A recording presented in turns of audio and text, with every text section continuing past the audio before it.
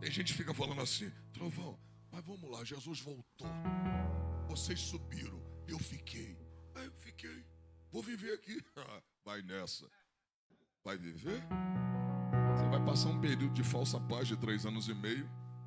O anticristo vai fazer um acordo com o Oriente Médio. Rapaz, por incrível que pareça, tem um camarada, além de Macron, chamado Jared. Esse homem se intitulou mulher. E a Bíblia fala que o anticristo vai ter o perfil de mulher. Ele vai ser, sabe, a mulher do século 21 aí, sabe, do Paraguai. É. Ele vai ser essa mulher. É, é o gênero, ele se identificou assim. O prédio de Jared fica em Nova York. Sabe qual é o número do prédio dele? Meia, meia, meia. Está intermediando os maiores acordos. Ele é sobrinho ou é genro do Trump, do ex-presidente. Está revolucionando. Olha para mim. É ele que vai fazer esse acordo de paz com o mundo. Mas, ainda que ele faça, nós não estaremos aqui para ver isso. Nós estaremos aqui para ver ele. Nós estaremos lá em cima com Jesus de Nazaré. Olha para cá. Olha para mim. As pessoas que ficarem aqui, quem ficar nessa terra, vai viver esse período de paz. Mas depois haverá o pior momento que Jesus disse: nunca houve. E nunca haverá dias como esse. Que se esses dias não fosse abreviado, nenhuma alma se salvaria. Olha para mim. O dilúvio matou a raça humana. Mas não foi o pior dia da história da humanidade. Sabe por quê? Olha para mim. O juízo do dilúvio foi único. Apenas um juízo, diga água. O da grande tribulação será diversos. Será chuva de pedra, será rios transformados em sangue, será Deus descendo a sua ira. A Bíblia diz: Olha para mim. Então, eu acho que quem ficar na grande tribulação vai ter uma noite de sono. Você não vai conseguir dormir. Alguém aqui, seja sincero, não, eu não estou, eu não tô, não, você não vai ser envergonhado, nada disso, mas seja sincero. Quantos aqui tem medo de morrer? Levanta a mão, trovão, tem medo. Levanta a mão, não vou, não estou te confrontando, não estou, não vou te fazer uma pegadinha. Seja sincero. Quantos tem medo de morrer? Olha para mim. Só que na grande tribulação, a Bíblia diz em Apocalipse 9, 6. Olha para cá. Naqueles dias, os homens buscarão a morte, mas a morte fugirá deles. Você não pegou? O juízo vai ser tamanho, vai ser tão grande, que os homens vão olhar para cima e vai dizer. Só que Deus vai repreender a morte durante cinco meses. E a Bíblia diz que os homens vão entrar dentro de cavernas e vai gritar assim: Ah, tenha misericórdia e nos esconda da ira daquele que está sentado sobre o trono. Eita glória, os homens vão perceber que é o céu que manda. Eu vou falar, hein? Olha para mim. Vou falar. Escute isso aqui, grave isso aqui que fique gravado. O mundo, o mundo, ele é digno de receber a sentença que está por vir. Vou falar mais uma vez. O mundo é digno de receber a sentença de Deus que está por vir. Eu vi uma entrevista agora de uma menina dentro de uma universidade. Ela perguntou assim: assina aqui uma causa aqui para preservar um ovo. É ovo de uma espécie de uma ave, de, de, um, de, um, de uma ave. E porque se comer isso aqui vai, pode acabar extinguindo. Ele disse: ok, eu vou assinar. Eu assino para preservar a vida. Se é a favor da morte de um cachorro, ele disse não. Se é a favor da morte de uma galinha, ele disse lógico não. Aí falou: tem mais uma outra pesquisa aqui. Assina aqui. É, a sua assinatura vai servir para ser a favor, para ser contra o aborto. Ele disse: não. Eu sou a favor do aborto, que a mulher tem direito sobre o seu corpo. É uma questão de saúde pública. E a menina perguntou assim: então você é a favor que um frango viva, mas um bebê não? Ele disse: é, eu sou a favor. Para você, quem vale mais, um frango ou um bebê? Ele disse: um frango. Essa geração, ela é digna de receber o juízo que está por vir.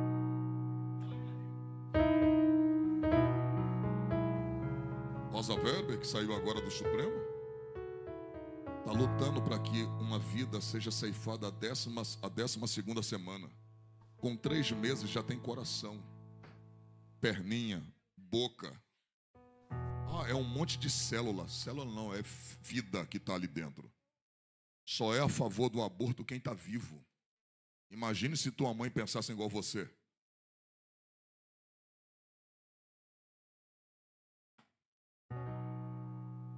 Dia do juízo final, os bebês que foram jogados no lixo, que foram cortados com bico de pato, a Bíblia diz que diante do trono branco vai ser lido todas as obras.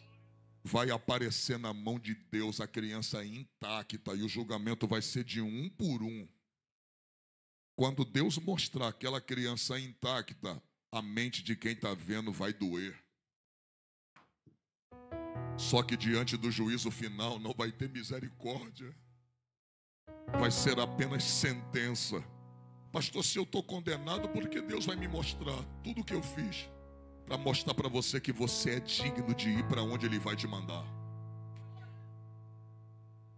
Acabou, glória, mas eu vou pregar assim mesmo. As pessoas estão brincando.